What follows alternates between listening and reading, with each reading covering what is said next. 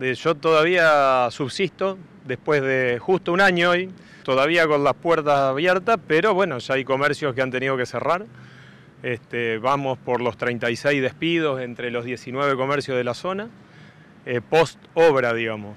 Eh, no, te- terrible, triste, digamos. Muy triste porque la falta de estacionamiento, que tampoco está contemplada en la obra, o sea que después de que se termine la obra, si Dios quiere, eh, que está para el 28 de enero, vamos a ver si llegan, eh, tampoco tiene contemplado una grilla de, de estacionamientos demasiado amplia, de no más de, de 8 o 10 lugares, que no es suficiente para la zona. ¿no? Ahora, cuando se arrancó en su momento, ¿cuál era el plazo? ¿Qué les decían a ustedes?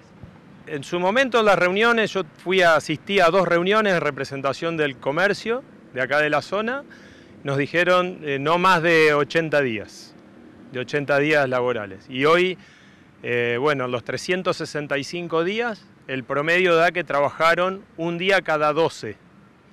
O sea que un día laboral cada 12 días que pasaron. En tu caso, ¿en cuánto fue la merma en cuanto a las ventas y cómo hiciste para subsistir todos estos meses? Bueno, la merma a los seis meses que iba la obra ya íbamos en el 50% y hoy ya estamos en el 70% de merma. O sea, hoy estoy vendiendo un tercio en kilos, no digo en plata, ¿eh? en kilos de lo que tendría que vender para poder pagar sueldos. No para ganar plata, para pagar sueldos.